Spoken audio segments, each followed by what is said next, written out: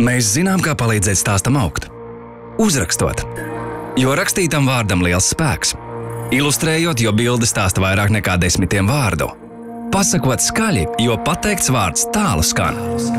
Esot visur, jo stāsts var augt, ja sastopams jebkurā laikā un mēdījā. Lai mūsu stāsti augtu, mums jābūt visur. Spēja runāt jebkādā veidā ir daļa mūsu būtības. Mēs rakstām, ilustrējam, runājam, tā palīdzot stāstiem augt. Turpmāk akciju sabiedrība Lauku avīze pazīst kā akciju sabiedrību Latvijas mēdīji. Latviski par svarīgo Latvijai.